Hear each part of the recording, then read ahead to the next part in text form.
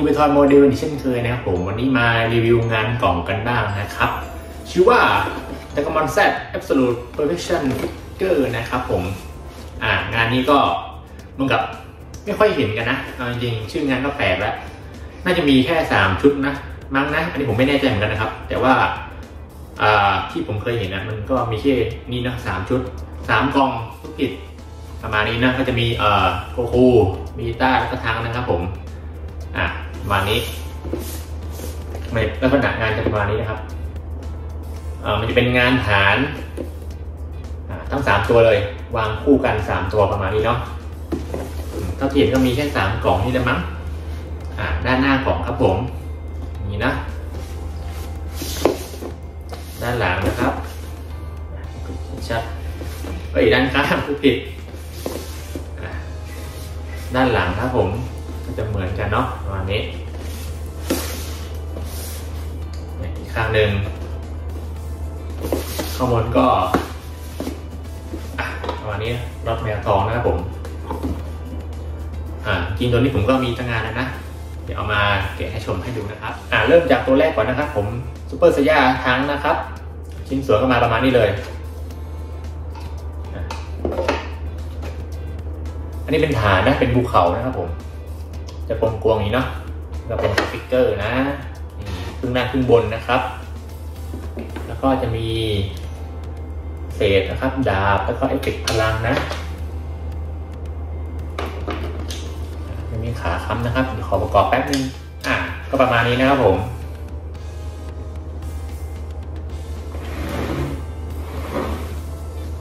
โมเห็นกันไหมก็อยู่ในท่า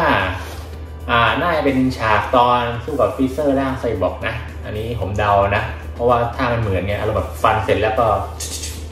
ปุ้มประมาณนี้นะอ่าถือว่าสวยนะ สีก็อาจจะเป็นแบบด้านๆหน่อยนะครับ แต่ว่าไม่ได้มีการลงแบบสีเข้มสีอ่อนนะเป็นสีพื้นๆแต่ว่าออกด้านๆนะครับผม สวยนะรายละเอียดดี ข้างล่างก็เป็นเอฟเฟกต์นะ แต่เอฟเฟกต์เนี่ยเขาจะทำแบบว่าไล่สีนะครับ เห็นไหมภูเขาก็จะเป็นสีเดียวกันเลยนะ ต้องค่อยๆนะอันนี้เสียว งานมันค่อนข้างจะหายากนะครับผมดูหน้าใกล้ๆนี่ผมลองวัดความสูงตัวนี้นะครับ เอาแบบสูงถึงปลายดาบเลยเนาะ ประมาณถ้าปลายดาบประมาณ 30 เซนนะคร่าวๆนะครับผม 30 เซนหรือว่าสูงนะดังนั้นเนี่ยต้องวาง 3 ตัวถึงจะสวยนะครับผม เดี๋ยวเอาเป็นตัวต่อไปเป็นกีตาร์นะครับผมเอามาแกะให้ดูนะเอาไปกีตาร์ก็มาประมาณนี้นะ ส่วนบนส่วนล่างนะครับ แล้วก็เอฟเฟกพลังชิ้นหนึ่งนะประมาณนี้นะครับผม ตัวกีตาร์จะความสูงจะเตี้ยกว่าทางนะครับ ด้านนี้แหละประมาณนี้ เหมือนกันครับผมภูเขามันจะเป็นกลมกวางนี้นะ มันยังไม่ได้ตันนะครับถือว่าเป็นงานที่คลาสสิกนะเดี๋ยวลองเอาความสูงตัวนี้ดูนะครับ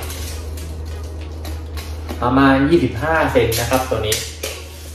ทั้ง 3 4ปีต้า25 นะ เอฟเฟกก็จะแบบว่า ไล่สีอย่างนี้นะครับข้างล่างจะเป็นสีแบบสีขาวปลายปลายเป็นสีเหลืองนะนี่อยู่ในยูนิฟอร์มชุดเกราะนะครับผมต้องหาจุดบายทีนึงอ่าอีกตัวหนึ่งอีกตัวหนึ่งเป็นโกคูนะโกคูนี่เอฟเฟกต์จะหลายชิ้นนิดนึงนะอ่าตัวนี้ผมไม่แน่ใจว่ามัน มันถอดได้ไหมนะ แต่ว่ามันแน่นๆนะผมก็เลยไม่ได้ถอดนะครับผมตัวโกคูนี่ลงสีสวยนะ เอฟเฟกต์ก็สี่ชิ้นนะครับผมนี่ตามนี้เลย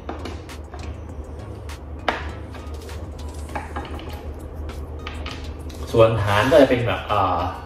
น่าจะเป็นพื้นดินนะ จะไม่ได้นูนใหญ่เหมือนในพวกนี้นะครับผมอาจจะมีนูนนิดหน่อยเอ่าฐานตัวนี้จะมีลงแบบว่าสีด้วยนะ อ่าสีแค่ฟีออนนี่ ข้างหลังแบบนี้อโกกูผมก็จะมีเข้มอ่อนนะครับ อ่า แต่เหมือนทั้งจะไม่มีเข้มอ่อนนะเป็นท่าปล่อยพลังขึ้นเตานะครับผมข้างล่างเลยเป็นเงาลงสีเป็นเงานะเข้มๆตามกล้ามเนื้อก็มีการลงสีนี่นะครับ ลงสีเข้มสีอ่อนเนาะ เหมือนโกคูนี่จะเด่นกว่าเพื่อนนะ นี้นะรองเท้าก็เข้มอ่อนเหมือนกันถือว่าสวย เดี๋ยวลองประกอบนิดนึง ผมก็จำไม่ได้ว่าฐานอันไหนอยู่ตรงไหนต้องเดี๋ยวขอเวลาประกอบแป๊บนึงนะครับ อ่าโอเคโกคูกับปารานี้นะครับผม มองเห็นกันไหม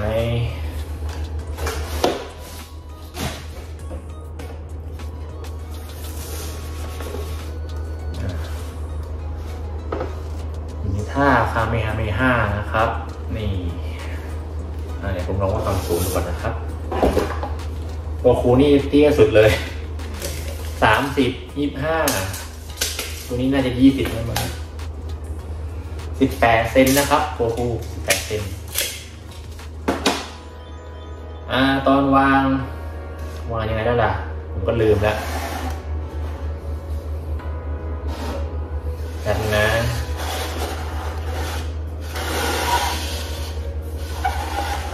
จริง ๆ มันแล้วแต่เราจัดนะเราจะเราจะวางยังไงจัดยังไง นี่ประมาณนี้เพราะว่ามันมีเหลี่ยมมีมุมของมันอยู่ไงให้ชนกันอะไรเงี้ยอ่าแต่ที่ผมวางผมวางประมาณนี้นะได้ไหม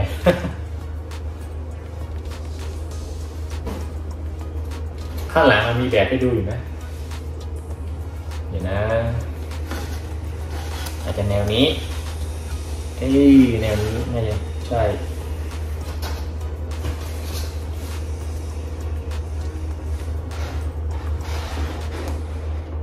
อ่านี่ แล้วก็หันมุมอะไรให้มันแบบว่า โอเคนะกับตู้เรานะประมาณนี้ ถ้าวางตัวใดตัวหนึ่งมันจะไม่สวยต้องวางคู่กันอย่างนี้นะ มันต้องวางแบบให้มันเป็นชุดเดียวกันนะ นี่วานี้ จริงๆตอนนี้ผมขายไปแล้วนะ มีลูกค้าสั่งไปผมก็เลยเอามา ขออนุญาตเอามาทำคลิปก่อนขายแล้วกันนะครับ แล้วก็เป็นการเช็คสภาพด้วยว่ามันโอเคไหมอ่านี่ผมก็ขายไปแล้วนะยกชุดนะครับ ผม นี่สวยนะจริงแอบเสียดายแต่ว่าผมก็ทยอยแบบว่า ขายตัวที่แบบงานกล่องอะไรนี้ออกไปก่อน เอาที่แบบตัวเป้งๆเก็บไปก่อนนะครับ นี่ก็ประมาณนี้ สวยนะจริง